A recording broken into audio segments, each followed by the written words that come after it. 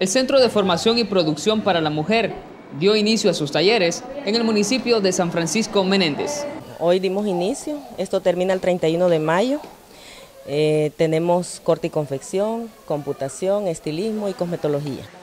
Sí ha tenido éxito porque el enfoque es para que una mujer salga adelante, para que ya no dependa de, otras personas, sino ella pueda ganarse su dinero y, y vivir pues con sus hijos, que es lo que desea la comuna, que la mujer sea libre económicamente.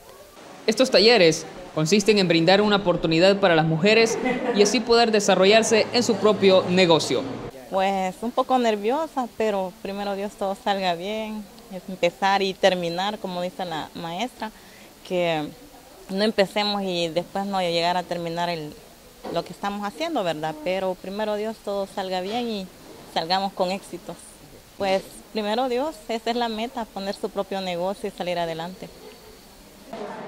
Cada taller tiene su instructor en las áreas de computación, corte y confección, estilismo y cosmetología. Como inicio se ven bastante entusiasmadas, ¿verdad?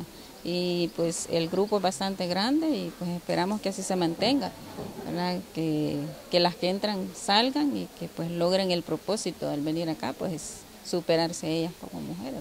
Desde el 2009, estos talleres se han venido impartiendo, beneficiando a muchas mujeres. Con una duración de seis meses y un aproximado de 86 alumnas, la Municipalidad de San Francisco Menéndez brinda el apoyo de manera gratuita.